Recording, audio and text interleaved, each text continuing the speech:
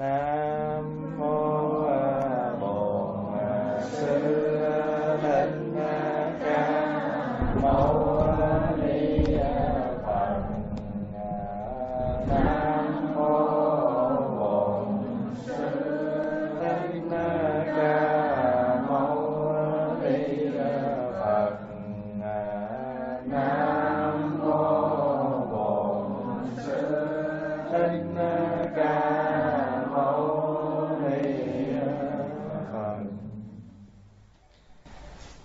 chúng, hôm nay là ngày thứ hai 30 tháng 9 năm 2013 Chúng ta đang ở tại à, Hương Vân Am à, Để cùng nhau có một buổi à, sinh hoạt Phật Pháp.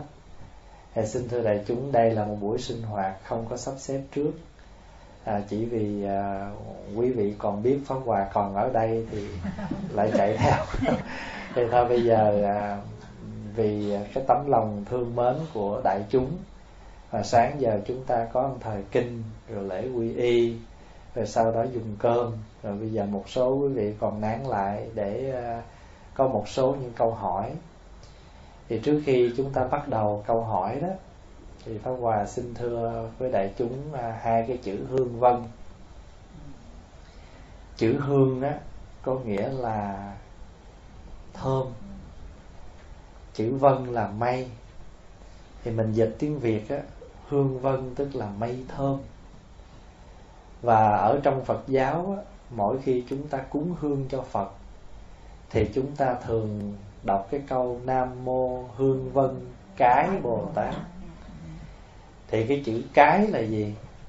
Chữ cái nghĩa là cái lọng cái lọng cái tàn cái bảo cái á, ý mình muốn nói rằng cái khói hương mà con dâng lên cúng cho Phật á, Bồ Tát á, do cái tâm thành của con mà bây giờ cái khói hương này kết tụ lại thành ra một cái bảo cái để mà che cho Phật hay là để cúng dường cho Phật.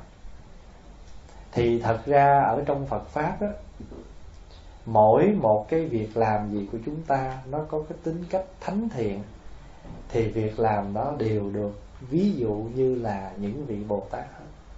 Cho nên mình mới có là hương vân cái Bồ Tát. Hay là cái mảnh đất này mình muốn cho nó có cái sự trong sạch, tinh khiết cho nên mình gọi là thanh lương địa. Thanh lương địa Bồ Tát. Vì vậy rồi bây giờ thí dụ như bây giờ đó, mình muốn cho cái người đó khai mở tâm tư khi nghe kinh cho nên mình mới có là thính kinh văn bồ tát. Vậy thì những cái câu niệm bồ tát á, có đôi khi không phải là có một người bồ tát nào có cái tên đó. Nhưng bởi vì cái ước nguyện cao đẹp của mình, cái việc làm cao đẹp của mình, nó được ví dụ như là bồ tát. Mà một cái câu gọi là hương vân cải rồi mình cũng có thể là có một vị Bồ Tát nào đó tên là Hương Vân cái. Hương Vân cái. Bồ Tát này nguyện vì chúng sanh đưa cái, cái tâm tư của mình lên cúng dường chư Phật. Bởi vì mình muốn đưa cái khói hương này lên cao xa cúng dường mà mình không có đủ phương tiện thì Bồ Tát này giúp cho mình có thêm năng lực phương tiện để chuyển cái này. Mà hương á còn tượng trưng cho một cái gì? Cái giới hạnh ở trong kinh pháp cú có câu trong tất cả các loài hương, không hương nào bay ngược gió. Chỉ có hương người đức hạnh bay ngược gió bốn phương. Dù là hương bất cứ loại mùi gì, mùi thơm gì, nó cũng không thể bay ngược gió được. Chỉ có hương của người đức hạnh, mà hương của người đức hạnh là người đó có sự tu tập. Phải không? Mà cái người mà có tu rồi á cái người có tu rồi thì cái hạnh đức đó giống như là cái hương thơm. Đi đâu cũng tỏa ra và làm cho người ta dễ chịu thích tới gần. Có những cái mùi hương đó, mình không thích tới gần. Nhưng mà có những cái cái hương mà chúng ta muốn đến gần để chúng ta được được hưởng cái hương đó. Và một người mà đã có cái hương đó rồi á hương đó là hương gì? Hương giới hương định hương tuệ. Cho nên khi mình thắp hương, mình thắp ba cây. Cây hương giới, cây hương định, cây hương tuệ. Nhưng mà trong ba cái hương này, trong ba hương cũng là một hương. Tại vì người mà có giới thì nhất định sẽ có định, có tuệ. Thí dụ giới là gì? Thí dụ bây giờ giữ giới đi. Nếu tôi giữ giới à, không ăn cắp. Thì vừa lấy cái tay định ăn cắp, thì cái định nó nó dừng lại liền. Cái định đó là cái tĩnh lặng, nó dừng lại. Và cái tuệ nó nói với mình, đừng có ăn cắp. Ăn cắp lỡ người ta thấy kỳ lắm. Cái tuệ giác nó nói cho mình biết. Và nhờ mình có cái dừng là cái định, cho nên cái tuệ nó nói với mình, và mình sẽ đi đến cái việc làm là giữ giới không ăn cắp. Vậy thì chỉ một hành động không ăn cắp là giữ giới nhưng mà trong đó nó có định, có tuệ. Và vì sao chúng ta có tuệ? Bởi vì chúng ta có sự tĩnh lặng. Và vì đâu chúng ta có tĩnh lặng? Vì chúng ta có giữ giới. Cho nên nhờ giữ giới mà có định, nhờ có định có giới mà có tuệ. Cho nên không cần thắp ba cây, thắp một cây cũng được. Trên nguyên tắc, ba cây hương là hương giới, hương định, hương tuệ. Nhưng cũng không nhất thiết phải thắp đủ ba cây bởi vì trong ba mà có một trong trong ba đó nó nằm ở trong cái một đó. Cho nên đạo phật á, gọi cái đó cái giáo lý mà nó nó ăn thông như vậy đó cái giáo lý đó gọi là giáo lý tương tức. Tương tức. Bây giờ mình nói ví dụ như là mình nhìn ở trong cái miếng đậu hũ mình gọi là đậu hũ. Nhưng mà trong đậu hũ đó không phải chỉ có một chất đậu nành. Mà nó còn có gì nữa? Nó có nước nó có thạch cao, nó có lửa, nó có muối, nó có chất này, chất kia. Vậy thì trong một miếng đậu hũ có tất cả trong đó. Mà mình gọi một tên của nó. Nhưng mà nếu chúng ta phun nó ra, tìm, phanh tìm ra, thì nó có nhiều thứ ở trong đó. Bây giờ một cái chánh kiến thôi là cái thấy mà hễ cái thấy mà nó đúng á, thì nó sẽ đưa tới cái gì? Suy nghĩ đúng. Nói đúng. Hành đúng. Còn mà cái thấy trật thì hiểu trật. Nói trật hành trật. Cho nên trong một mà nó có thật. Giáo lý đó gọi là giáo lý tương tức thì người có hương tức là có giới có định có tuệ. Mà đã có giới có định có tuệ rồi thì cái người này sống làm sao? Thảnh thơi nhẹ nhàng thoải mái như mây. Không có bị ràng buộc. Quý vị vừa ra ngoài sân thấy mây. Dáng như là một cái à, cái lọng cái tàn gì đó chạy vô trong nhà biểu người thân ra xem cái thì mây nó biến dạng. À, mà vì là mây cho nên mình không bị ràng buộc gì hết. Không? Khi là mây trên bầu trời xanh khi làm mưa rớt xuống, khi làm nước chảy róc rách ở dưới suối, dưới khe. Nhưng mà thật sự, nước trong suối, nước trong bồn, nước trong chậu gì thì nó cũng tự từ mây, rồi mưa, rồi xuống. Cho nên, chúng ta nói có mây, có mưa, có nước chứ thật sự nó chỉ là một thể. Cái tướng nó có khác. Tướng mây, tướng mưa, tướng nước. Nhưng mà nó chỉ là một thể thôi. Cũng giống như sóng hay là bọt thì nó cũng là nước nhưng mà tại vì có gió thì chúng ta thấy sóng thấy bọt vậy thôi. Chứ còn nó chỉ là nước thôi. Khi mình hiểu được như vậy, thì tự nhiên đời sống của mình nó có thảnh thơi ra. Nó có an lạc ra. Và hiểu như vậy là hiểu một phần của bát nhã rồi đó. Bát nhã tâm kinh mình tụng á, là mình có một phần hiểu bát nhã rồi đó. Cho nên vì hiểu như vậy, cho nên bồ tát này liền vượt tất cả mọi khổ ách vì sao vượt tất cả độ nhất thiết khổ ách tại vì bồ tát này thấy rằng ngũ quẩn dài không. Ngũ quẩn là sắc thọ tưởng hành thức. Như bây giờ là sắc là cái thân này thọ là cái cảm thọ vui buồn của mình đó. Tưởng tưởng, tưởng hành là nó nó vận hành tâm hành của mình. Thức là cái phân biệt mà năm cái này để nó tạo nên cái con người này nè. Mà một khi mà nó nín cái rồi thì sắc, thọ, tưởng, hành gì thức thì cũng mất tiêu hết trơn. Thấy không? Cho nên thấy nó là không, cho nên vượt tất cả mọi khổ. Thì bây giờ mình cũng vậy. Mình thấy được, mình có được cái tuệ giác của của tuệ để chúng ta thấy được, tu được cái định tĩnh và có được cái hành trì. Cho nên tâm hồn mình thảnh thơi và thoải mái cho nên mình là hương vân. Quý vị hiểu hai chữ hương vân ha? Rồi bây giờ mỗi lần mình tụng kinh á mình nói lư hương xạ nhiệt ở đây có ai tụng bài đó không? À, có người tụng là à, lò hương vừa nhen nhúm pháp giới đã được xong chư phật hải hội đều xa hay. Phải không? Đó là tụng tiếng việt. Còn có chỗ dịch là kim lư vừa bén chiên đàn khắp sông pháp giới đạo tràng mười phương, hiện thành mây báo kiết tường. Cái gì nữa? Chư phật rõ biết ngọn hương chí thiền tất cả những cái đó là, đều là cái bản dịch từ cái bản tiếng hán, là lư hương xạ nhiệt pháp giới mông hương. Ở đây quý vị có biết cái bài hương vân di bố không? Thánh đức chiêu chương, bồ đề tâm dũng mạc phi thường, vân vân thì đó là những cái bài để nói lên cái à, cái chữ hương vân ngay cả cái chữ đầu của cái bài là hương vân di bố. À, di là bủa ra bố là rộng. Hương vân di bố tức là khói cái cái cái cái cái mây thơm á, mây hương thơm bây giờ nó bủa khắp ra phải cho là hương vân di bố. Pháp Hòa nói sơ hai chữ hương vân để à, quý vị hôm nay ở am hương vân. Hiểu được chữ hương vân và chữ hương vân đó không phải là cái tên không rồi mà nó còn là một pháp tu nữa. Bây giờ ai có làm gì mình á thì mình cũng nhớ ồ oh, mình là hương vân. Không? Hương là thơm vân là mây. Đã là mây thì có gì sợ nữa?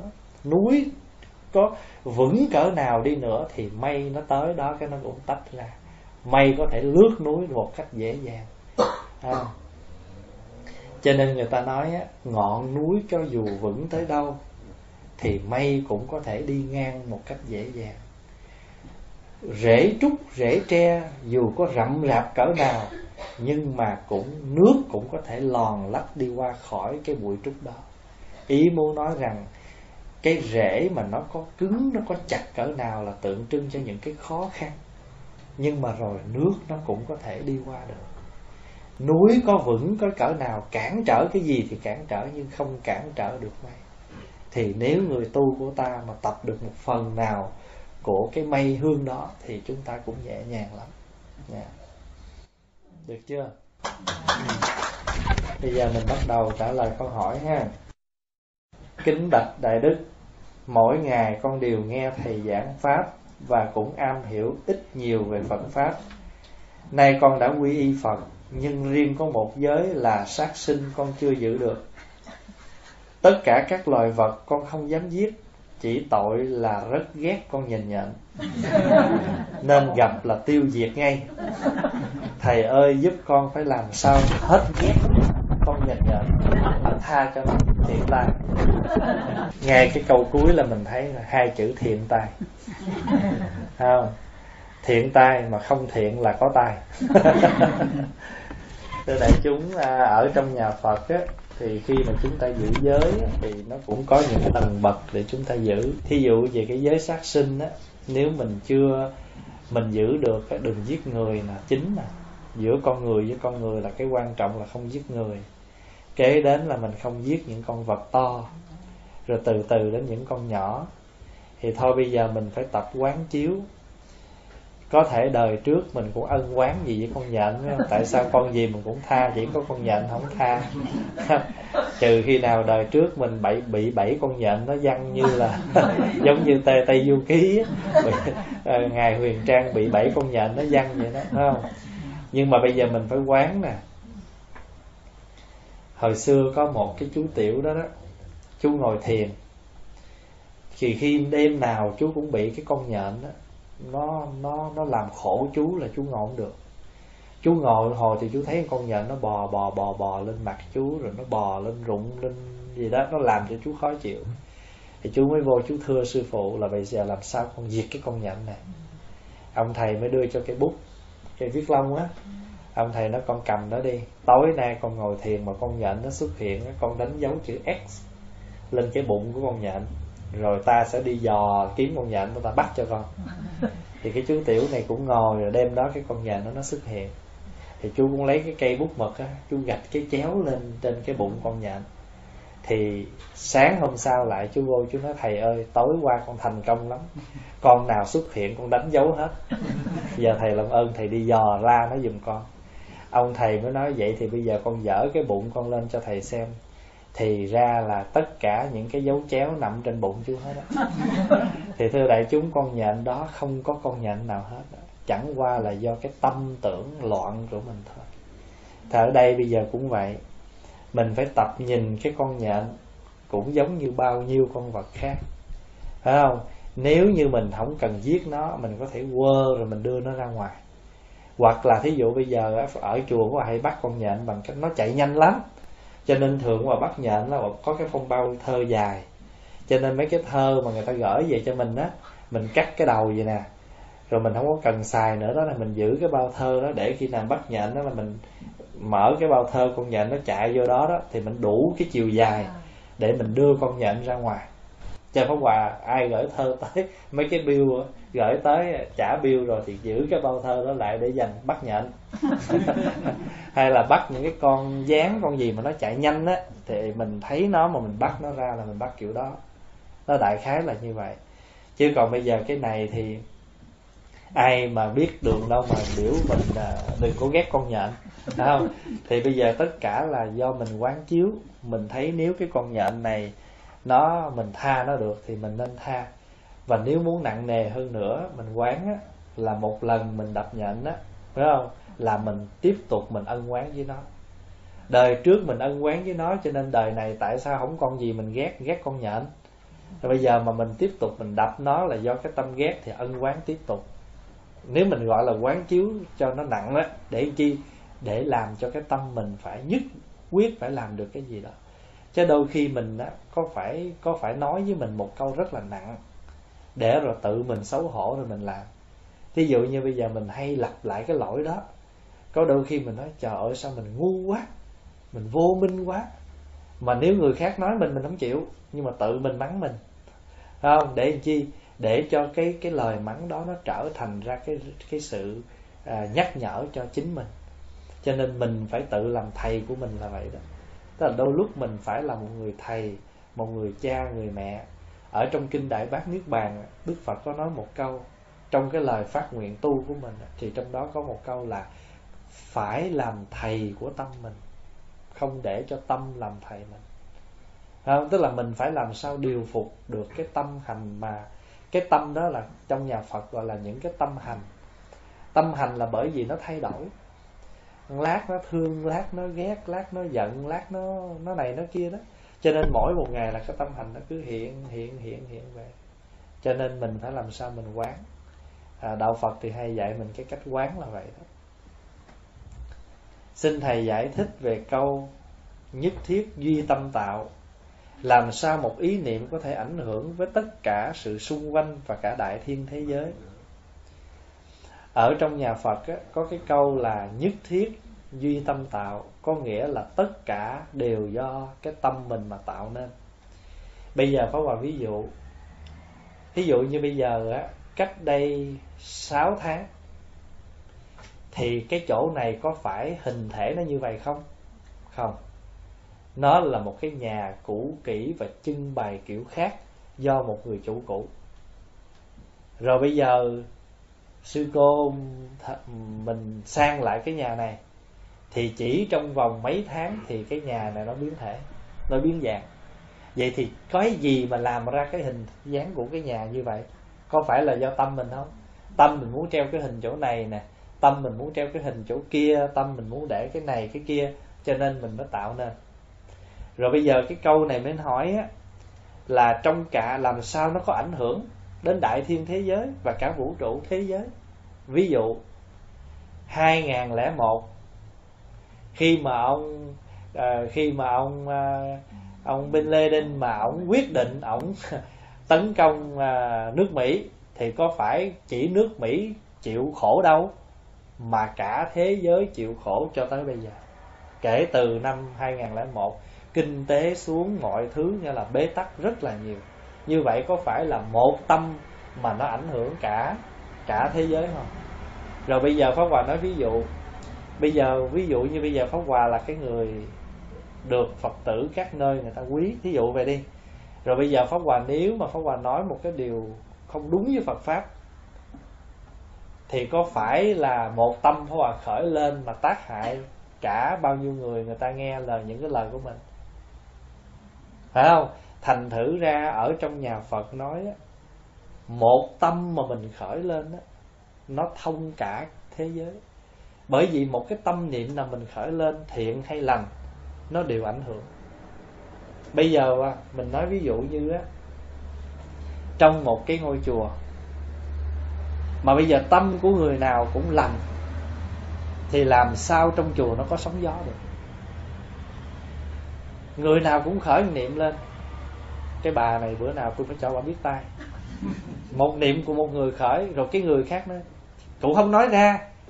Nhưng mà rồi trong niệm của người khác nói tôi ngán bà. Rồi cái người khác nói để rồi coi.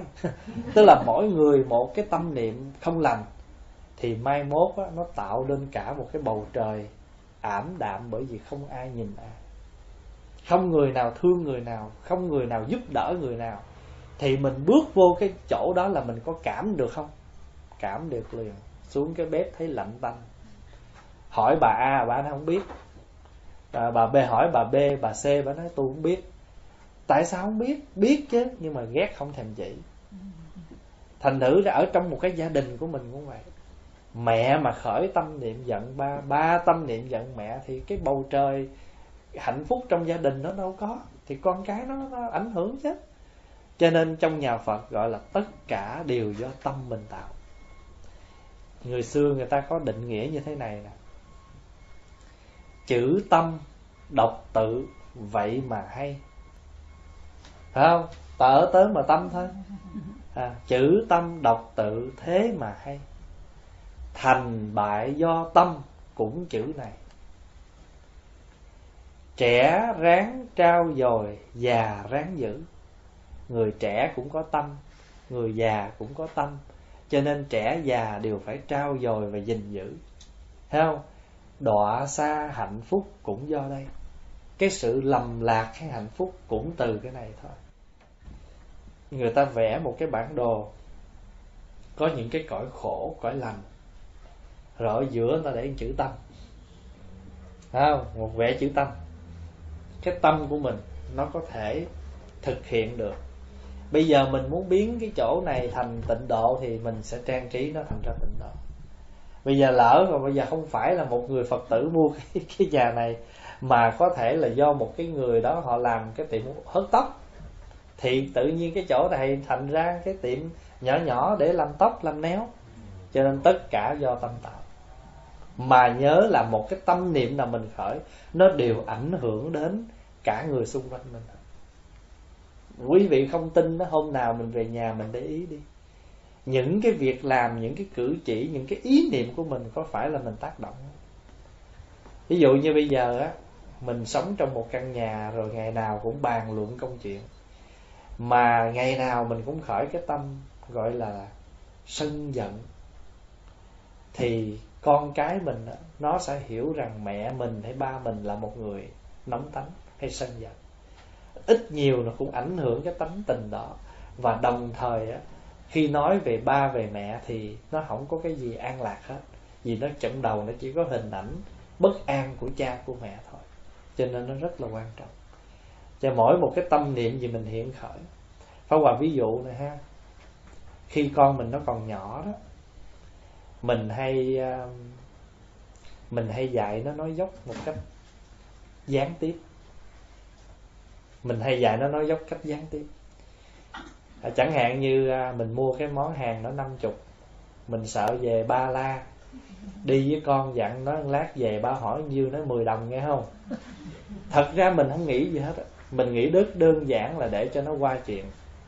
Nhưng mà trong cái gián tiếp đó cái niệm khởi đó nó làm ảnh hưởng đứa nhỏ. Mai mốt nó lớn lên nó cũng sách đó nó nói má, cho tiền con đổ xăng. Hỏi hết cho con nó dạ hết rồi, cần đổ nguyên bình. Mà thật sự đã đổ hai chục rồi, còn tám chục bỏ túi xài chơi. Thật ra là cũng là tiền mình thôi, thì nếu nó nói mình cũng đưa thôi, nhưng mà tại sao nó không nói thẳng? Nó cứ phải nói, nó mượn cớ đổ xăng để nó vớt thêm tám chục đồng kia. Có đôi khi mình không có trực tiếp dạy con mình nói dốc nhưng mà cái nhỏ nhỏ trong cuộc sống hàng ngày đó, chúng ta đã gián tiếp mà nếu chúng ta không có chánh niệm về cái cách đó, đó là rất nguy hiểm. Pháp Hòa ví dụ vậy nè Ví dụ như Pháp Hòa nói với mấy chú á Cái này có phải con làm không? Nếu thật sự là con làm Con phải nói thiệt Thì con sẽ được tha lỗi.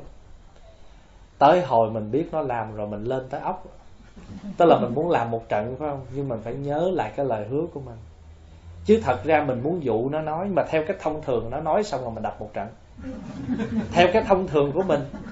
Tức là bây giờ mới rõ ra thủ phạm chẳng qua là vụ nói thôi. Nhưng mà nếu mà mình đánh nó một lần rồi Mai mốt mình biểu nó nói thiệt Nó không nói nữa. Cho nên những lúc vào pháp hòa mà mà mà định như là mà khi nó nói thiệt rồi là bắt đầu mình phải giữ lại được, rồi bắt đầu mình phải dằn bao nhiêu cơn thịnh nộ của mình xuống để bắt đầu mình nhỏ nhẹ mình phân tích cái phải cái quấy cho biết tại vì nếu mà nó giấu mình hết tất cả là mình hoàn toàn mình không có một cái cái cái gì để hiểu về con mình nữa. Cho nên khi mình dạy con nhỏ đó, là mình phải uyển chuyển và mình phải đủ đủ thứ hết. Mà đôi khi, nhiều khi mình phải dùng cái từ là mình phải hạ mình, phải nhún nhường để mà mình có thể hiểu được nó, biết được nó đang đi ngã ngách nào để mình leo lái nó thôi. Thì tất cả những tâm niệm đó nếu mà khởi lành thì có phải là mọi đứa nó hưởng cái điều lành không? Mà nếu mình hưởng mình khởi cái xấu như là mình dạy nó dốc Thôi Hòa hay ví dụ Điện thoại reo thì mình lại mình ngó cái số cái mình thấy cái bà đó gọi mình không ưa Mình không muốn bắt. Thì thay vì mình nói con có bắt phone đó, Nói với cô là má có ở nhà mà má con bận. Thì mình nói nói khéo. Tức là má bận má không thể tiếp phone. Chứ còn mình nói với con là Trả lời cái phone đó, Nói má không có ở nhà. Khác liền. Cũng một cách từ chối cái phone, nhưng mà mình, bên cạnh từ chối cái phone đó là mình gián tiếp dạy con mình nói dối. Bây giờ mình nói khéo là má bận, má không bắt phone. Thì nó thấy rõ ràng, má ở nhà. Má đâu có nói má không ở nhà, nhưng mà chắc má bận, má không thể tiếp cái phone đó được thì bây giờ ở đây phó bà chị muốn nói cái sự tu của chúng ta, cái chánh niệm mà chúng ta nói đó là cái gì? Là những cái việc đó. Mình chánh niệm về thân thể của mình. Mình chánh niệm về cái cái gia đình của mình, cái nội tâm của mình. Ví dụ mình là một phật tử, mình đi chùa. Mình biết là gần đây nhiều cái vấn đề xảy ra và làm cho con người mình nó hơi bị depressed, bị stress thì mình phải nhớ là cái đó là cái khó khăn của riêng mình. Và đừng có vung vẩy cái đó ở những bạn đồng đạo của mình khi mình đi vào trong chùa. Tự nhiên rồi ai mình cũng nạt nộ. Mình coi mọi người không ra gì rồi mình nói những cái lời nói không có dễ thương. Thì mình đó đang khởi những cái tâm niệm. Mình đang, cái tâm mình nó đang khởi những cái hành động, những lời nói và làm hư cái tâm của người khác và làm mất cái thanh tịnh của đạo tràng cho nên rồi mình tổn giảm cái gì? Tổn giảm cái phước. Bởi vì mình không có dụng cái công. Ngày hôm qua qua nói đó, mình có cái phước báo là mình được cơ hội đến đạo tràng để tu tập. Nhưng chúng ta phải biết vận dụng tu tập để chúng ta nhờ cái phước này mà sanh ra công đức. Nhờ phước đức mà sanh ra công đức. Rồi công đức càng nhiều thì phước đức mình càng lớn. Nhờ công đức mình lớn cho nên mình gặp toàn là những thiện hữu tri thức tại vì mình sao mình gặp toàn là những chuyện bất trắc, đó là mình thiếu phước. Mà nếu mà thiếu phước rồi mà còn vung vẩy, còn khó chịu, còn thế này thế kia thì lại càng giảm cái phước nữa, bởi vì cái công đức nó không có. Cho nên công đức, phước đức là hai cái nó hỗ trợ cho nhau. Mà nếu chúng ta không biết là chúng ta dễ bị lắm. Mình lượng sức của mình làm việc. Thí dụ bây giờ là ở nhà nè theo bữa là mỗi ngày mình phải nấu năm món ăn. Mình muốn mà. Nhưng hôm nay mệt quá, nấu ba đi. Không, thí dụ một bữa ăn mà bớt xuống hai món, cũng không có chết ai. Mà cũng chẳng ai nói gì. Bất quá là ba món ăn thôi. Không nhất thiết ngày nào mình có phải thực hiện cái khéo léo của mình là phải năm món, để rồi mình la người này, mình hét người kia, mình bực người nọ. Ở nhà cũng thế mà ở trong chùa cũng vậy không ai bắt mình phải làm cái gì nó hơn cái sức của mình để rồi mình có những cái hành động mà nó để giảm cái cái cái cái phước và cái công đức của mình. Cho quan trọng lắm nhất thiết đi tâm tạo một tâm niệm lành mình khởi thì cả đoàn thể, cả mọi người xung quanh vậy quý vị à, hiểu được cái câu này ha? Kính bạch thầy, chúng ta đang sống ở cõi dương. Con xin hỏi thầy là có tin cõi âm không? À, cõi âm mở ngoặt là cõi vô hình. Rồi đã nói là vô hình thì sao người ta thấy? Thật sự thưa đại chúng đạo phật không chủ trương nói các cõi. Nhưng mà có nói. Pháp Hòa nói cái này để rồi đại chúng nhớ kỹ rồi để mình không có lầm lẫn. Đức Phật có nói cõi trời không? Đức Phật có nói những cõi âm, những cõi à, à, cõi sắc, cõi vô sắc rồi đó. Đức Phật có nói về các cõi đúng không? Nhưng mà Đức Phật lấy cái tuệ giác của Phật là Phật nói cho mình nghe. Mình có tin cũng được. Mình không tin cũng không sao. Bởi vì cái mục đích chính của Đạo Phật á, Là Đức Phật muốn nói cho chúng ta cái pháp tu để giải thoát khổ sở của phiền não sanh tử. Chớ Đức Phật không nhầm giới thiệu cho mình những cõi vô hình khác. Nhưng mà Đức Phật có nói, Và mình tin hay không Thì nó cũng không hề giảm đi Cái giá trị chân thật của Đạo Phật. Giá trị chân thật của Đạo Phật là gì? Là giải thoát, Chứ không phải mục đích nói cõi vô hình. Nhưng mà Đức Phật có nói cho mình nghe. Như cái chuyện mình nghe xong rồi Tin tin tới truyền quyền của mình. Rồi bây giờ có tin, Cũng phải tu à. Không tin cũng tu à. Cho nên anh tin cũng được Anh không tin cũng không sao. Nhưng mà nếu không tin, Đừng bài bán. Vì bài bán là sai. Tại sao sai? Có những cái mình không thấy, đâu có nghĩa là nó không có. Cho nên mình bài bài bán chí bây giờ pháp hòa nói ví dụ như là, pháp hòa ví dụ như pháp hòa qua đây. Pháp hòa được ăn một món bánh đặc biệt mà chưa bao giờ thấy làm cái món bánh bò ở trên lớp da lợn mình nói ví dụ vậy đó. Rồi bây giờ pháp hòa đi về, lại em minh tân và kể cho quý vị bên đó nghe nó trời ơi, kỳ này tôi đi monro tôi ăn được một cái bánh đặc biệt lắm, ở dưới bò trên lợn. Cái người ta nói, thầy nói dốc. Làm gì mà có chuyện dưới bò trên lợn? Không?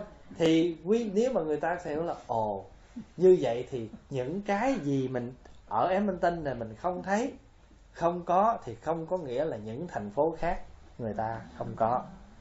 Nhưng bây giờ quý vị có tin pháp hòa có cái bánh bò ăn cái bánh bò trên bò dưới lợn hay không á cũng có ảnh hưởng gì chuyện tu hành của pháp hòa không? Có ảnh hưởng gì cái chuyện pháp hòa nói giáo lý không? Không có. Thì đạo phật cũng thế. Cho nên phải rõ cái này để mình không lầm lẫn Thế bây giờ Pháp Hòa nói là ở ngoài kia có người đang múa lân. Nói, trời, bữa nay mới tháng 8 múa lân gì? Cái chuyện mình mình mình không thấy. Cái gì mà cách một vách tường là mình đã không biết rồi, đã không nghe rồi. Thì làm sao mình bảo đảm là cả sơn hà vũ trụ mình biết hết được? Người ta thường dùng cái từ á, là cao nhân tất hữu, cao nhân trị. Phải không? Thiên ngoại hữu thiên, ngoài trời có trời thì làm sao mình gọi là cái mình biết là hết được. Cho nên, phật nói cho chúng ta nghe các cõi, tin hay không đó là quyền của mình, nhưng đừng có bài xích. Rồi rốt cuộc cái chính yếu của chúng ta cũng trở lại là tu để giải thoát. Cái đó là cái mục đích tối hậu đức phật muốn truyền đạt đến cho mình. Cho nên thiên kinh vạn quyển nói bao nhiêu lời? 300 hội đàm kinh rồi đức phật cũng chỉ chú tới một cái chỗ là làm sao giải thoát được cái khổ não do tham sân si ở trong người mình. Chứ còn ba cái chuyện gọi là cõi gì cõi gì đó không có quan trọng. Cho nên bây giờ á, mình ở cõi dương, thôi nói chuyện cõi dương cũng được. Khỏi nói chuyện cõi âm. Không ai ép mình phải nói chuyện cõi âm mà nhiều khi mình nói chuyện cõi âm nhiều quá người ta thấy mình cũng hơi âm á. Phải không? Thành nữ nó cứ bình thường. Cho nên pháp hòa không có chủ trương. Pháp hòa không có chủ trương nói những cái chuyện mà gọi là ngoài cái chuyện mà người ta có thể nhận biết được. Pháp hòa nói ví dụ bây giờ người ta nhìn xá lợi. Người ta nói có thiệt có xá lợi không? Thì quý vị thấy rõ ràng đồn nói xá lợi cái riết cái giờ ở đâu cũng xá lợi hết á người nào cũng có một chén xá lợi không rồi còn dư đem cho nữa chứ. Gặp ai cũng hỏi muốn xá lợi không? Xá lợi đâu phải dễ cho như vậy. Xá lợi đâu phải dễ dàng như vậy. Phải không? Phải tu niệm dữ lắm thì mới may ra mình mới có. Mà xá lợi là những cái viên chứ không phải là những cái miếng to to bự bự, màu này màu kia, không phải mà nếu mình có nhận nó đó, thì mình nhận, ồ, đây là một cái điềm lành của một vị tu hành thôi.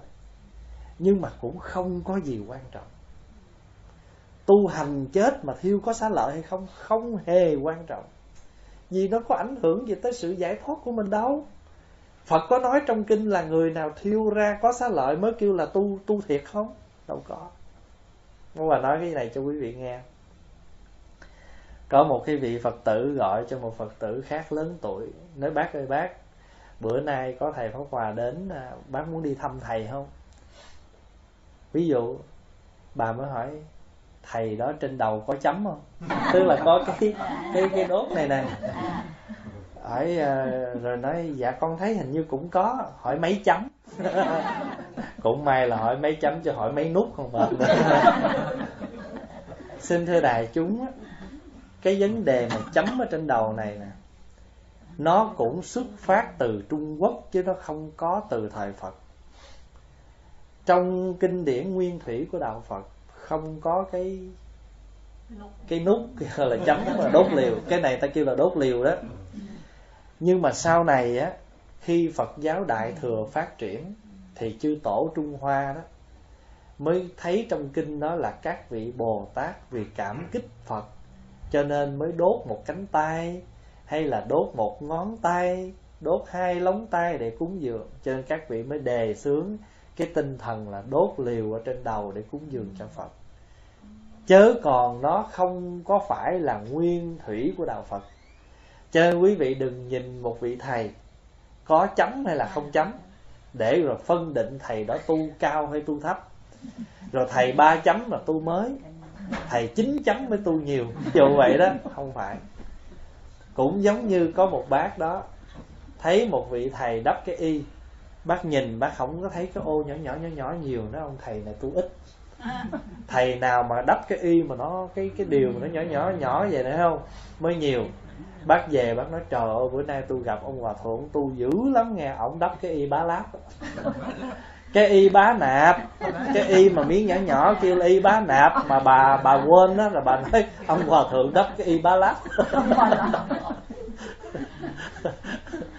thì Pháp Hòa xin thưa nó cũng không ăn nhậu gì không ảnh hưởng gì đến cái chuyện gọi là mình đắp cái y uh, nhỏ nhỏ hay là cái y lớn y của quý thầy thì nó có chia những cái bậc vậy thôi năm điều bảy điều chín điều để tùy theo cái lễ mà quý thầy đắp chứ nó không ảnh hưởng vấn đề tu cao tu thấp.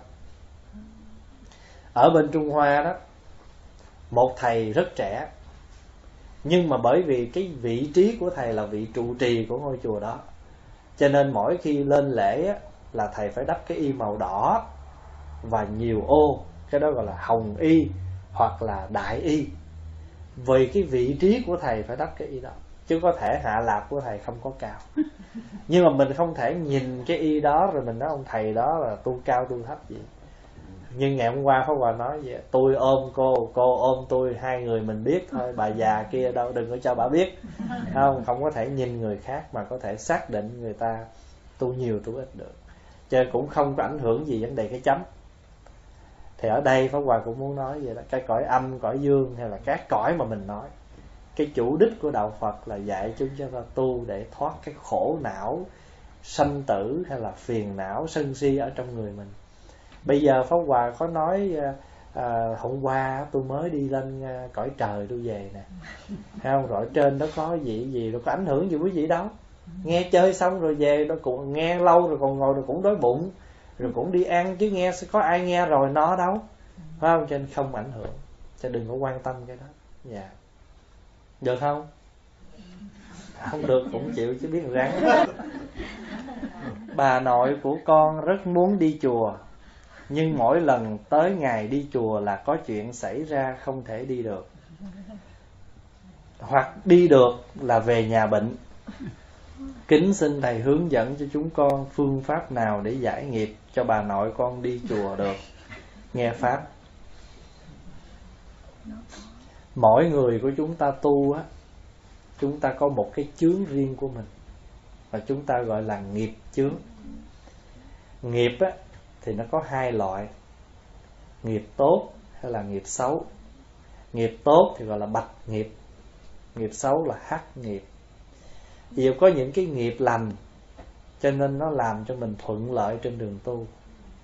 Có những cái nghiệp không lành, cho nên nó làm chướng ngại cái chuyện tu của mình thì bây giờ tự tâm mình mỗi người biết mình có một cái nghiệp riêng. Có những người đang khỏe vậy đó, và sắp sửa đi chùa cái chóng mặt nhức đầu cái ở nhà. Hay là đang bình thường vậy đó, mà hãy tới giờ đi tụng kinh cái đó còn nó ngáp. Nó ngáp, thấy thương lắm. Nó ngáp nước mắt, nước mũi chảy vậy đó. Mà hãy xếp cái áo tràng cất cho nó tỉnh à, mà hãy dở tới cuốn cuốn kinh đó là ngồi lật có còn mấy trang nữa. Vậy mà đưa một cuốn tiểu thuyết là đọc quên thôi. Như vậy thì cái nghiệp đó nó chướng mình. Thì bây giờ thôi nói thì ai nghiệp gì thì tự biết nhưng mà cái phương pháp chung nè. Mình phải sám hối. Sám hối là một. Cái thứ hai nữa đó chính vì mình bị cái nghiệp đó nó cản trở cho nên chúng ta ráng mà vượt nó. Ví dụ như á, trừ trường hợp, trừ trường hợp là nó nó quá khó khăn cho mình thì mình không ráng thôi. Vì vậy dụ bây giờ cái nghiệp là mỗi lần tụng kinh cái buồn ngủ, thì thay vì mình tụng kinh một tiếng, thì mình tụng một tiếng là mới ba chục phút là nó buồn ngủ rồi. Thì mình biết cái tật nó như vậy cho nên mình tụng ba chục phút thôi để còn ba chục phút kia mình không để cho cái nghiệp buồn ngủ nó có cơ hội nó phát triển sau ba chục phút. Cho mình tu ba chục phút đầu. Và khi mà mình, thí dụ bây giờ mình ngồi thiền cả nửa tiếng sau chân mới tê, thì mình mới nói chắc tôi không có duyên với tu, ngồi hồi sáu tê quá. Anh ngồi không đúng cách thì nó tê chứ gì đâu. Hay là nói dễ hơn nữa là lâu lâu mới ngồi lần nó tê chứ gì đâu, ngồi hoài nó hết tê. Cho nên ngày nào cũng ngồi mày tê tao cho mày tê à, thì tê ba chục phút thì mình ngồi 15 phút. Rồi mình đứng dậy mình xả chân mình đứng dậy mình. Mình không ngồi thiền thì mình đi thiền. Cũng thở vô bước một bước. Thở ra bước một bước. Không ngồi thiền thì đi thiền. Gọi là thiền đi. Mà không thiền tọa thì thiền hành. Không thiền hành thiền tọa thì thiền ngọa ngọa là nằm. Có nhiều khi mình cũng phải cần thiền ngọa, tức là nằm xong rồi ngủ. Còn hơn là nằm đó mà đủ thứ lo toan chứ có nhiều vị người ta nói, nếu mà lên nghe pháp, ngồi đó mà phân biệt thầy hay thầy dở đó, thì thôi thà ngủ gục đi. Để cái tâm thức mình nó đỡ tạo nghiệp. Thà là ngủ.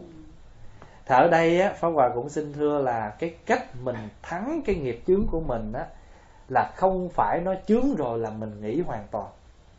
Mà mình phải tu ở cái mức độ nào mình có thể để thắng được nó. Rồi cái khoảng thời gian đó mình làm gì? Mình tụng xong thời kinh mình sám hối rồi mình hồi hướng cho cái cái cái nghiệp mà mình đang vấp phải. Thí dụ như nó là à, con bệnh bị cái nghiệp à, chướng để cho con không thể đi chùa. Nay con xin giải cái oan nghiệp đó thí dụ vậy đó. Cho nên mỗi ngày mình tụng kinh đó, mình đều hồi hướng cho những cái oan nghiệp những cái túc trái những cái chướng chướng duyên của mình. Chứ còn thật sự mà nói không có người nào không có chướng. Thưa đại chúng đại chúng nhớ vậy nè. Mình không có nghiệp thì mình không bao giờ ở cõi đời này. Vì cái cõi đời này con người được hình thành là do nghiệp. Còn các cái cõi lành khác như cõi trời thì con người hình thành là do phước. Cũng giống ví dụ như bây giờ mình nói sở dĩ chúng ta có mặt ở nước ngoài này sau khi qua trại tị nạn rồi và chính phủ chấp nhận cho mình đi theo diện ờ, nhân đạo là vì chúng ta đủ điều kiện đủ điều kiện sức khỏe hay là bất cứ cái gì đó để người ta cho mình qua được. Cho nên mình sanh ở cõi nào thì nó đều có cái nghiệp, cái phước của nó. Thí dụ như con chó, con mèo, có phải nghiệp không? Nghiệp. Nghiệp nó làm chó làm mèo, nhưng mà chó mèo ở hải ngoại nó có phước hơn chó mèo ở những cái xứ nghèo. Thì cũng là cái nghiệp xuất sinh, nhưng mà giữa con chó của nước nghèo và con chó ở nước ừ, văn minh nó có khác chứ. Có phải vậy không nè? Rồi bây giờ quý vị nói, trời ơi, mấy thầy tu ở nước ngoài có phước lắm. Phước một chút thôi, nghiệp nhiều hơn. Tại vì sao? Ở nước ngoài thì mình cực hơn, mình không có chúng nhiều, thì một mình mà phải lo toan đủ thứ. Đó là chưa nói nợ nần, chưa nói tiền biêu bọng nói chưa nói là phải điều hành còn ở Việt Nam một ngôi chùa nhiều người. Người lãnh trách nhiệm cho nên cái người ở trong chùa đó thoải mái hơn, nhẹ nhàng hơn. Ở đây mình chỉ có cái phước vật chất tức là ăn uống thoải mái thôi. Nhưng mà bù lại mình thiếu cái phước cộng tu. Không có người đồng tu với mình. Cuộc đời Pháp Hòa là đi tu là từ 15 tuổi tới bây giờ. Chưa hề biết an cư kiết hạ với tăng chúng 3 tháng là gì làm gì có được một cái cơ hội mà ở đây làm gì có một cái cơ hội gom chư tăng lại mà an cư 3 tháng? Thì bây giờ ở bên Trúc Lâm là mỗi năm 3 tháng an cư mà tâm niệm, tức là tự ở trong nhà, quý thầy có bao nhiêu người thì tâm niệm an cư với nhau trong 3 tháng. Vẫn an cư 3 tháng, nhưng mà không có cái phước là ở chung với đại chúng để mình học hỏi với đại chúng. Đó bây giờ pháp hòa nói, bây giờ nói quý vị mà ngồi tu mà buồn ngủ rồi đã ha. So ra với những cái chướng của pháp hòa thì quý vị hơn nhiều. Pháp hòa là chưa kể hết những cái chướng của mình hết đâu những cái bị khó khăn của mình. Nhưng mà mình phải vượt, bởi vì mình tu là mình muốn làm con cá nó nhảy khỏi lưới. Nó vậy đó. Cho nên xin thưa đại chúng là khi mà mình gặp một cái chướng ngại nào, đừng có buồn, đừng có nản lòng, đừng có than trách. Nó tại sao tôi tu mà tôi còn không có cái này thì cái sự tu mình nó không có đi xa được. Ngày xưa có một vị à, có hai vị thầy đi ngang một cái dòng sông. Thì trên chiếc xuồng đó, chiếc ghe đó thì có cái ông đó, ông chài cá thì một lát sau thì có một con cá đó, nó nó nhảy ra khỏi được cái lưới thì cái ông thầy kia, ông vỗ tay, ông nói, hay quá, ông khen cái con cá nhảy. Thì cái ông thầy nọ mới nói, có gì đâu hay, không bị mắc lưới mới hay chứ còn mắc rồi mà mình nhảy ra có gì hay. Thì cái vị thầy kia mới nói, huynh chưa hiểu ý của tôi. Nói vậy thôi rồi hai người cùng tiếp tục đi thì một lát sau, vị thầy kia mới hiểu được cái thâm ý, mới đến chắp tay nói, bây giờ tôi đã thấu đạt được cái lý của đại huynh, xin bái phục. Cái chuyện mà mình không vô trong lưới là cái chuyện thường. Cái mà bây giờ lỡ nhảy vô lưới rồi mà làm sao nhảy ra khỏi được cái lưới đó là cái chuyện cần nói. Cái đó mới là cái chỗ mà chúng ta đang làm bây giờ đại chúng nhìn coi, trong chúng ta đây ai chưa một lần vô lưới? Phải vậy không? Nhưng mà có người thì còn đang rõ rẻ. Có người thì đã được nhảy. Nhưng mà có người nhảy vô rồi cũng muốn rõ rẻ vô lại. Cho nên người ta mới nói đó, con cá bên ngoài á, thì đổi, đỏ hoe đôi mắt. Con cá bên, ở ngoài vòng nó lúc lắc nó muốn không? Cái con cá mà đã ra vô rồi mà nhảy ra là quý. Còn cái chuyện mà mình không bị vướng thì có gì để nói? Quý vị lưu ý vậy đó. Cho nên hồi xưa mà nhớ quý hòa thượng thường hay ví dụ cái người tu mà khi thấm được một cái ê chề nào rồi á thì không bao giờ dám lại á, thì quý ngài hay ví dụ là giống như người đã khạc cục đàm ra rồi thì không dạy gì bốc cục đàm để vô miệng trở lại. Nói nặng như vậy để cho chúng ta thấy rằng cái sự buông bỏ của cái người quyết chí. Được chưa? Rồi thì nãy cũng có cái câu là vũ trụ linh hồn gì đó. À, thì đạo phật không có dùng cái chữ linh hồn. Đạo phật dùng cái từ là thần thức. À, thần thức tức là cái thức này nó linh động như một vị thần. Cho nên là thần thức. Ví dụ như là mình sống. Mình đầy đủ những cái sự nhận thức. Nhưng mà cái nhận thức của mình đôi khi nó còn sai, cho nên nó chưa thể gọi là thật. Khi nào cái nhận thức của mình nó linh động, nó nó sáng rõ, thì mới có thể tốt được. Cho nên thường thường ta kêu thần thức, tức là cái thức này nó sáng và nó hiểu biết như vị thần vậy và cái đó là cái mà các vị nói là mình tái sinh bằng cái thần thức đó. Bây giờ á, cái vũ trụ được hình thành như thế nào? Thì tất cả đều do những cái yếu tố duyên sinh. Bây giờ pháp hòa nói là quý vị mình nắm một cục đất thì mình nói là một cục đất, nhưng mà thật sự cục đất này nó được hình thành bởi muôn ngàn hạt bụi, hạt cát để nó hình thành. Thì cái vũ trụ địa cầu quả đất này cũng thế. Nó cũng từ biết bao nhiêu là những cái hạt bụi mà nó kết tụ lại để nó hình thành một thế giới vũ trụ của con người, hay là những cõi khác. Mà đã là duyên sinh thì nó làm sao? Quý vị nhớ những cái từ này đã là duyên sinh thì như huyễn. Huyễn có nghĩa là không thật. Bây giờ quý vị thấy trái đất của mình bây giờ nó làm sao? Càng ngày nó càng nóng đúng không? Rồi bắt đầu băng tuyết gì nó tan ra. Rồi mỗi ngày mỗi ngày thiên tai đủ thứ chỗ hết. Mình nói cái chữ thiên tai á, là có nghĩa là à, à, theo quan niệm của mình là cái chữ thiên này không phải là trời cái chữ thiên tai này hay là thiên nhiên á, nó không có nghĩa là chỉ cái ông trời, ông tạo gì đó. Cái chữ này là cái đạo lý tự nhiên nó như vậy. Từ đâu mà ra? Cũng từ con người mình. Hàng ngày mình tiêu thụ không có chánh niệm. Mình đã tiêu thụ quá nhiều những cái chất tạp để làm cho cái môi trường, cái môi sinh, cái khí huyễn đủ thứ ở trong cái đất này nó bị ô nhiễm ví dụ như là bây giờ á, mình đốt đèn cày nhiều quá.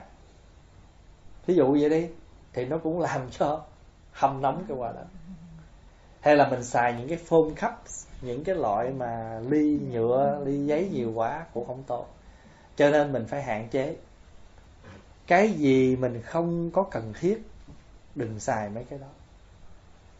Pháp Hòa thưa như vậy là không phải Pháp Hòa khoe khoang gì hay là Pháp Hòa muốn à, gọi là mình keo kiết gì nhưng mà ví dụ thôi. Thường thường cái giấy nắp kinh mình dùng thì thường có những nơi ta cho mình cái giấy nó to lắm. Cơ khi mình dùng để mình ăn cơm mình lau miệng đó, không hết tờ giấy đó. Thì thường thường nếu mà nó không có quá dơ thì pháp hòa không có bỏ để chi biết không? Để mình lao bàn lao cái chỗ nào nó dơ cuối cùng nhất rồi chúng ta mới vất nó. Không phải là mình gọi là à, bủng xỉn keo kiết gì nhưng mà mình phải tâm niệm một cái ý niệm góp phần của mình. Nó cũng làm sao? Tốt đẹp cho cái vũ trụ này. Cho nên nó có cái bài kệ một tâm niệm an lành làm rạng ngời mặt đất. Cho nên mình mỗi lần mà mình coi tivi á mình bấm cái cái tivi mình xem đó thì mình phải đọc cái bài kệ bấm tivi hôm bữa mình học kệ rửa mặt kệ thức dậy kệ xếp mền kệ gì nữa.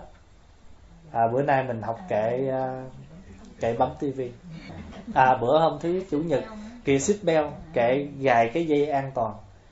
Bây giờ mình nói cái kệ bấm tivi nè. Tâm là máy truyền hình. Có muôn ngàn nút bấm. Chọn thế giới an lành cho tươi vui cuộc sống.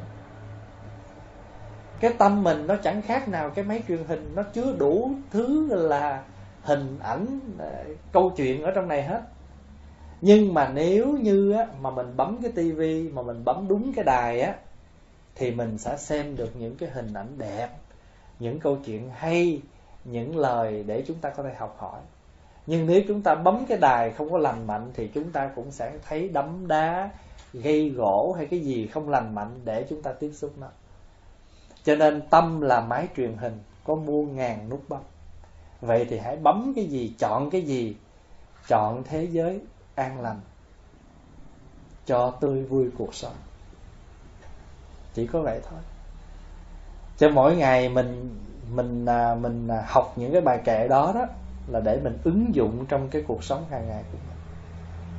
À, thí dụ như ở chùa đó hay là mình ở nhà cũng vậy. Pháp Hòa rất là ít khuyến khích xài mấy cái dĩa giấy trừ trường hợp bất đắc dĩ phải xài hay hạn như đại lễ lớn hay là ngày chủ nhật gì đó, mình không đủ dĩa, mình cung cấp, mình không đủ ly, mình cung cấp và mình cũng không có người để rửa thì buộc lòng mình phải xài cái phone đó. Nhưng tự mỗi người chúng ta xài á, mình ý thức. Nếu ngày hôm nay mình đến chùa nguyên một ngày, mình dùng cái ly giấy đó thì lấy cái viết ghi cái tên mình lên. Để mình tới lui trong chùa nguyên ngày đó, mình xài cái ly đó nữa. Chớ không nên uống một miếng nước dục cái ly đó rồi mấy phút sau cần miếng nước kéo cái ly nữa. Thứ nhất là tốn tiền của tam bảo. Phí. Thứ hai là mình sẽ làm ô nhiễm môi sinh. Và khi môi sinh này nó bị ô nhiễm thì ai là người hưởng? Cũng là mình. Cho nên nghiệp mình đưa ra thì mình cũng là người hưởng cái đó. Cho mình mới thấy sự tương quan giữa mình với vũ trụ, với con người như quý vị trồng cây, mình cũng có hưởng trong đó đó. Phải không? Mình tưới cây, ban ngày nó đưa ra những cái chất tốt để mình hưởng nó. Rồi ban đêm, ban ngày cây cối nó đều có sự sống. Ở đây chúng ta cũng vậy. Mỗi một cái sự sống của mình, nó đều có liên hệ tới người khác. Bây giờ quý vị đến đây nguyên ngày hôm nay mà không có một người nào đó đứng ra, hai người nào đó đứng ra, lo cơm, lo nước thì mình cũng đâu có gì ăn rồi cái người muốn đứng ra lo cơm, lo nước mà không có rau đậu thì biết họ làm gì? Chờ quý vị thấy không? Nếu mình phân đi tìm cái nguồn của mọi sự, mọi vật thì thấy cái này liên hệ tới kia kia liên hệ tới cái nọ. Nó vậy đó. Cho mình thấy được như vậy thì mỗi ngày mình thấy mình có liên đới và chúng ta cố gắng chúng ta sống và ứng dụng tôi thôi thì à, đó là những cái câu hỏi của ngày hôm nay. Bên cạnh đó rồi có ai có hỏi gì nữa không? Ở đây thì có một vị phật tử hỏi là bây giờ mình làm sao mình giảm cái sân của mình? Thật sự ra cái đề tài này nó là cái đề tài chung cho tất cả chúng ta. Bởi vì trong chúng ta không người nào mà không sân hết đó. chẳng qua là sân nhỏ, sân lớn. Sân góp, sân banh, sân bay. Tùy cái sân của mỗi người. Nhưng mà theo cái tu tập á, khi mình nóng giận với một ai đó thì mình đừng có ở cái phạm vi môi trường đó trong khi chúng ta đang giận. Thí dụ bây giờ trong cái phòng này cô đang giận ai đó thì cô đừng có ở lớn quẩn đây. Tại vì khi mình đang giận á mà cái người đó lãng giảng trước mặt mình là cứ chọc cho mình nó sôi lên thêm mà. Cái mặt của họ là cũng đủ mình sôi rồi chưa nói cái tiếng nói chưa có cái nụ cười. Cho một cái cách thứ nhất là mình phải rời hiện trường. Cái cách thứ hai á là mình phải quán vô thường. Đang giận ào ào rồi nó đứt mạch máu, nó chết đọc tiểu sử. Chị đi chùa từ hồi bao nhiêu tuổi, quy năm bao nhiêu tuổi, và cuối cùng chị đứt máu, gần máu chị chết. Tớ quán vô thường. Nhiều khi nó hòa quán vậy đó con có nhiều lúc nó hòa giận, thì mình giận một cái cơn giận, cái mình mới nghĩ, trời ơi, nếu mà mình giận như vậy á, mà thí dụ lỡ á đứt gân máu nó chết á. Cái thì đọc tiểu sử. Thầy tu từ nhỏ tới lớn và thầy nó đứt gân máu chết một cách an lành. Thì nghe nó kỳ quá. Đâu thành nữa là cái cách thứ nhì là mình quán là mình quán cái vô thường. Cái thứ ba đó là mình quán rằng á, cái người kia cũng là mình là tại vì đôi khi á, mình nói cái lời nặng ai nói nặng mình á mình cũng chịu không nổi nè. Thì bây giờ mình vung thêm một lời nặng nữa tức là mình thêm cái gì? Mình thêm cái ân oán, mình thêm cái khổ não. Bây giờ người đó cũng đang bị, mình đang bị rồi mình cũng vung tới cho người đó. Cho nên là cái những cái cái cái phương pháp thì nó nhiều lắm. Ở đây thì pháp hòa nói một, hai cách mà do pháp hòa phải tập. Ví dụ như bây giờ cái điều pháp hòa nói thật thật sự ra mình giận thì phần lớn mình giận đệ tử mình chứ ai hay là cô, thí dụ cô có giận thì cô giận ai nhiều, phần lớn là người thân. Một là con, hai là chồng, ba là cháu, hay là cái gì đại khái. Những người nhỏ hơn mình mình hay sân với họ. Là bởi vì mình nghĩ sao? Mình nghĩ tại sao mình nổi mà không nghe? Tại sao cái ngã của mình nó lớn? Cái ngã và cái địa vị của mình đó ta là mẹ mà ta nói không nghe. Ta là cha, ta là gì ta là chú gì đó chứ đâu có ai nói sao mẹ lì quá con nói hoài mẹ không nghe? Đâu có ai nói vậy đâu. Trừ cái người mà gọi là mình hết biết rồi đó thì mới nói chứ, chứ thường thường á mình nói là sao? Tại sao con hay là cháu hay là cái người nào nhỏ hơn mình? Mình mới nói cái câu đó. Chứng tỏ là cái gì cái ngã của mình nó cao cho nên nó mới sân đó là một phần. Và đồng thời á, nhiều khi á, mình có nhiều cái bắt buộc việc đó nó phải như ý mình một trăm phần trăm cho mình cũng dễ sai ví dụ bây giờ cô đi đâu cô dặn á là về nhà là việc đó phải về về về. Mà tới hồi cô về tới mà nó không được như vậy á là cô cô nóng liền. Mặc dù cô mới đi chùa mới đi chùa về. Và đập bàn cái bóp nói trước khi đi chùa đã dặn rồi. À, trước khi đi chùa ăn câu nghe dứt câu đó rồi tại sao đi chùa về? Cũng vậy. Đâu thành nữ ra nhiều khi đó là do cái gì? Do cái địa vị và cái ngã của mình. Và đồng thời mình cũng nghĩ rằng tiếng anh nó kêu là mình có cái high expectation. Tức là mình có nhiều cái à, cái bắt buộc cao, nhiều cái nhu cầu thành tựu cao, cho nên hệ cái gì nó không như ý mình thì mình dễ nổi nóng để giận. Cô biết nhiều khi pháp hòa giận đó là pháp hòa muốn đi xuống và làm cho một trận vậy đó. Nhưng mà mình trên đường mình đi xuống những nấc thang á thì mình mới nghĩ rằng, bây giờ mình xuống mình giận á, mình nói cái lời thô. Giận thì làm sao nói lời lanh được? Nói lời thô. Mặc dù nó không có thô như là những người đời, nhưng mà vẫn là những cái lời thô so với một người tu.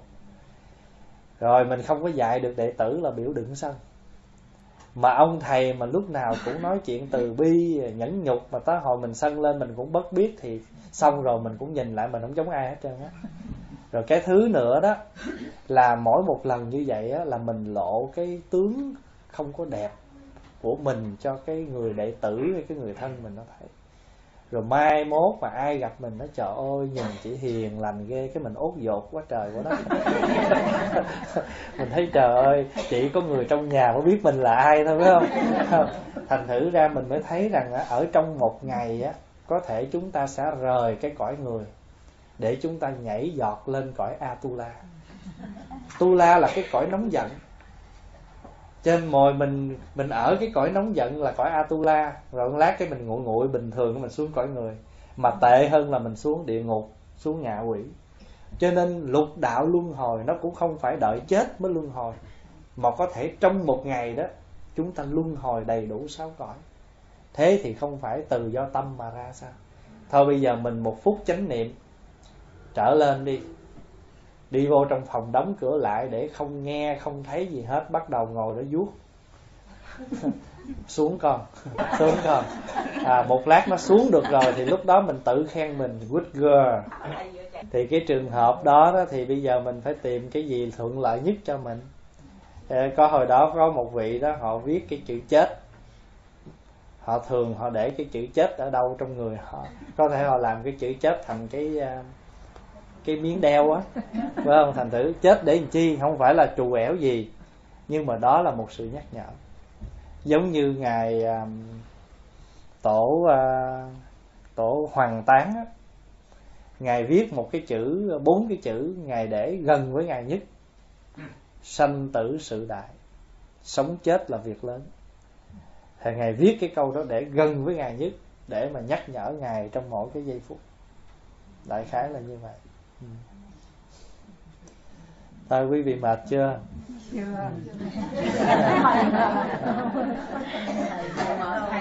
Có ai hỏi gì nữa không? Có câu hỏi nào khác không?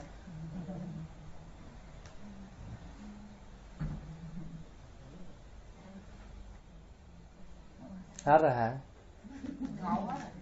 Ngộ hết rồi vậy thôi à, nếu mà hết câu hỏi thì à, chúng ta sẽ tạm dừng ở đây. Rồi à, sau đó quý vị, ai có muốn ngồi chơi nói chuyện thì cứ tự nhiên, ha. Rồi, để mình không có còn trong cái phạm vi sinh hoạt Phật pháp, nhưng mà mình có thể vẫn ngồi chơi được. Dạ. thôi mình hồi hướng. Nguyện đem công đức này. Khắp tất